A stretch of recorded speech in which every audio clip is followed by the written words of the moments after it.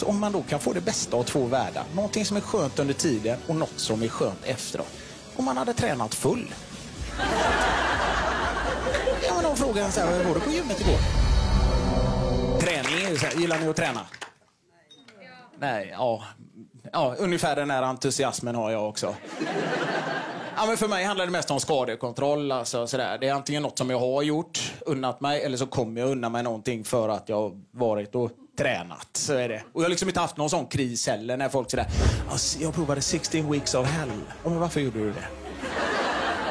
Listar du inte ut av namnet att det inte var så roligt? En svensk klassiker får ju liksom folk, det får ju grabbar i min ålder för sig att de också ska göra en svensk klassiker. För mig är det liksom att somna lite vinlull i soffan en fredagkväll framför På spåret. Det är en klassiker jag kan tänka mig att göra om och om igen. Liksom. Och, också, och de som, ah, det är så kul att träna. Nej.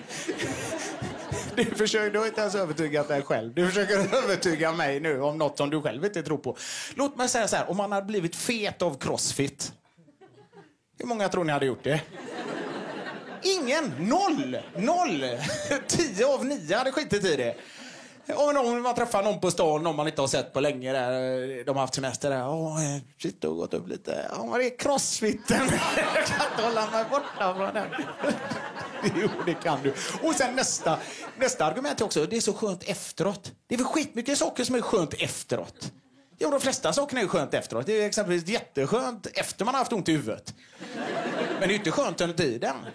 Och, och, och, visst, man är ju lite sugen liksom på ett experiment så som ni sitter här idag. Man tar ett glas vin och kanske man tar någon öl och sådär. Det är ju roligt under tiden.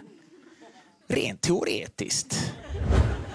Så om man då kan få det bästa av två världar, någonting som är skönt under tiden och något som är skönt efteråt. Om man hade tränat full. Ja, men de frågade så här, var du på gymmet igår? Igår.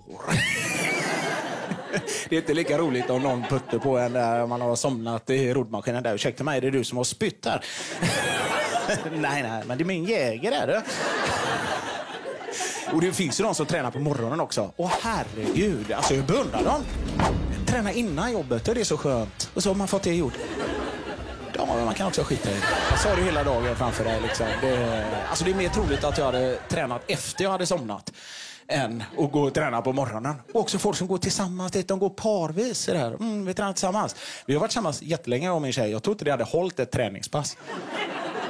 Nej, men de är, så, det, det, är ju gulligt. Alltså, jag beundrar dem också. Jag tycker det. Men det är också sådana som förmodligen har en sån mobillåda så fort man kommer in i hallen hemma där de lägger sina mobiler, käkar gemensam middag vid, eh, vid köksbordet och också har gemensam mailadress. och där killen alltid är med på tjejmiddagen.